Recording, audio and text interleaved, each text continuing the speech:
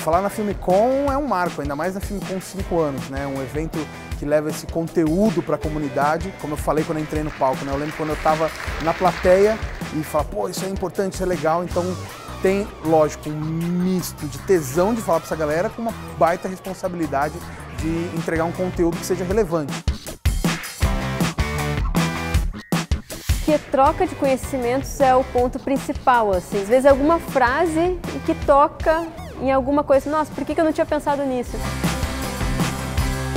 foi muito gratificante essa troca, porque a gente acaba recebendo também energia e a gente acaba dividindo. O que eu espero é que esse conteúdo tenha tocado as pessoas e que possa de alguma maneira transformar o trabalho dessas pessoas. O que eu achei da experiência na Filmicom?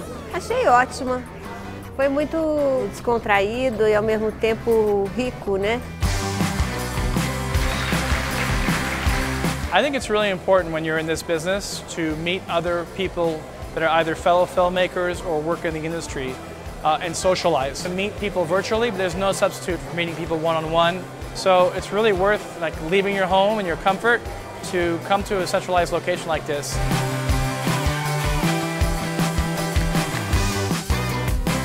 Dá também oportunidade de eles acreditarem mais que eles podem também. Se a gente conseguiu contribuir com isso, eu já saio daqui feliz.